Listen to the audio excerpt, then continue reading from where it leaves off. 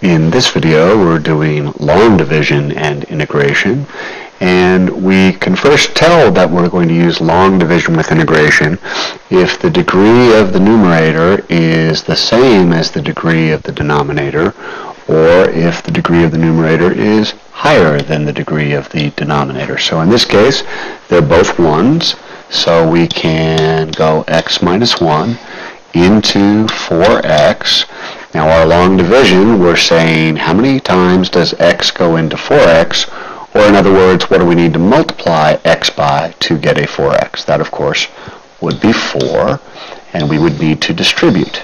So we get a 4x minus 4 subtract. We need to distribute our negative just like we learned in Algebra 2.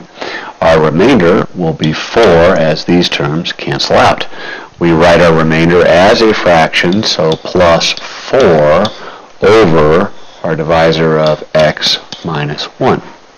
So now we're going to rewrite this problem because it's equivalent as 4dx plus 4 over x minus 1 dx.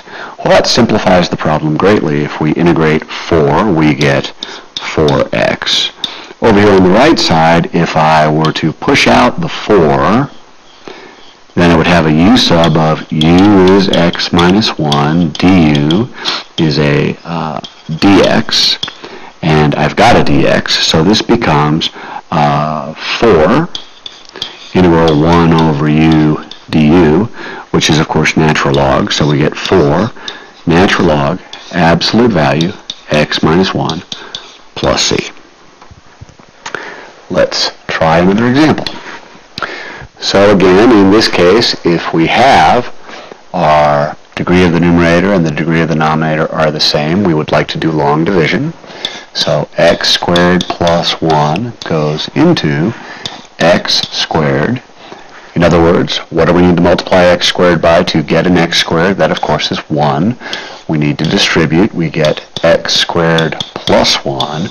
Subtract distribute our negative, we get a remainder of negative 1, so that would be this time minus 1 over x squared plus 1.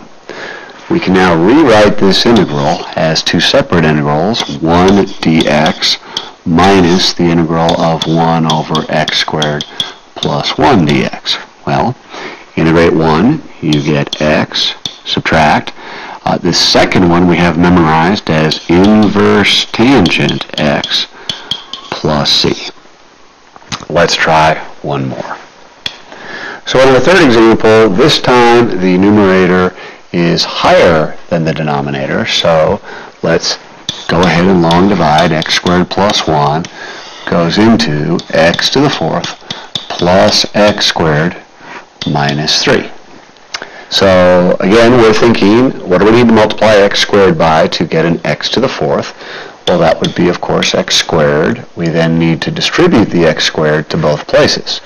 That gives us x to the fourth plus x squared.